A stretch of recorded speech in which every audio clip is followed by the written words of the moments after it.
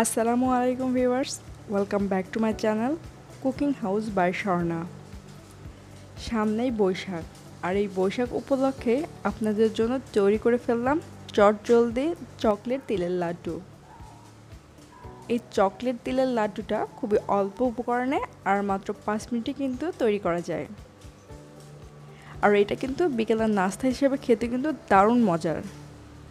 তো চলুন আর দেরি না করে শুরু করা যাক এরকম আরও সুন্দর সুন্দর রেসিপি পেতে হলে আমার চ্যানেলটি কিন্তু সাবস্ক্রাইব করতে একদমই ভুলবেন না। প্রথমেই আমি এখানে নিয়ে নিচ্ছি একটা বোল এখানে আমি দিয়ে দিচ্ছি এক কাপ পরিমাণে রাইস ফ্লাওয়ার অর্থাৎ চালের আটা। আর দিয়ে দিচ্ছি one third cup icing sugar অর্থাৎ এক কাপের তিন ভাগের এক ভাগ। আমি এখানে চিনিটাকে ব্লেন্ডারে ব্লেন্ড করে নিয়েছি। আপনারা চাইলে এটাকে কিন্তু পাটায় বেটেও এই আইসিং সুগারটা তৈরি করতে পারেন। তবে অবশ্যই কিন্তু এখানে আইসিং সুগারটা ব্যবহার করতে হবে। আর দিয়ে দিচ্ছি হাফ চা চামচ লবণ।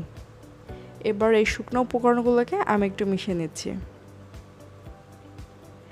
এবার চুলায় আমি একটা হাঁড়িতে পরিমাণ মতো পানি দিয়ে দিয়েছি এই পানিটাকে ফুটানোর জন্য। আমার পানিটা কিন্তু সম্পূর্ণভাবে ফুটে উঠেছে।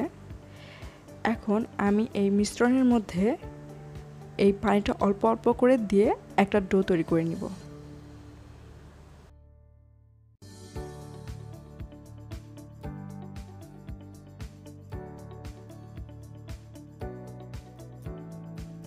এখন আমি এর মধ্যে দিয়ে দিচ্ছি এক টেবিল চামচ পরিমাণে রেগুলার রান্নার সয়াবিন তেল।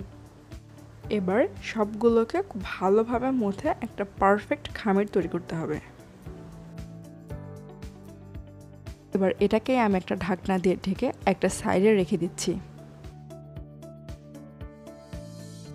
মানে আমি কিছু চকলেট নিয়ে নিয়েছি আর এই চকলেটগুলোকে আমি এরকম কিউব আকারে কেটে নিয়েছি। এবার এই খামিরটাকে একটা লম্বা শেপ করে নিচ্ছি আর এটাকে আমি এখন সমান দশটা ভাগে ভাগ করে নিব। এখান থেকে আমি একটা নিয়ে নিচ্ছি আর এটাকে আমি হাতের তালুর মধ্যে এটাকে গোল রাউন্ড শেপ করে নিচ্ছি। আর আমি এই বলের মধ্যে বৃদ্ধা আঙ্গুল দিয়ে একটা স্পেস তৈরি করে নিচ্ছি। আর এখন আমি এর মধ্যে দিয়ে দিব সেই চকলেট।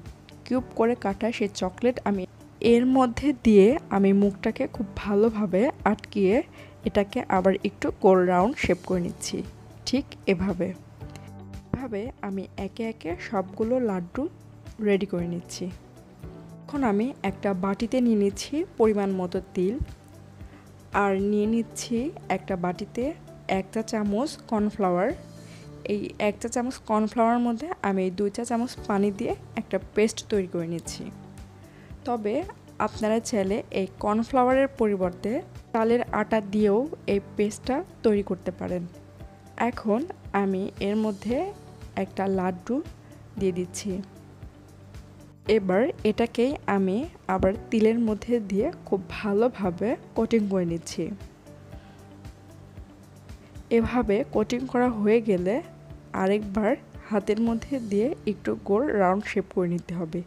এতে করে তিলটা এই লাড্ডুর গায়ে খুব ভালোভাবে সেট হয়ে যাবে। আমি একে একে সবগুলো লাড্ডু রেডি করে নিয়েছি ফ্রাই করার জন্য।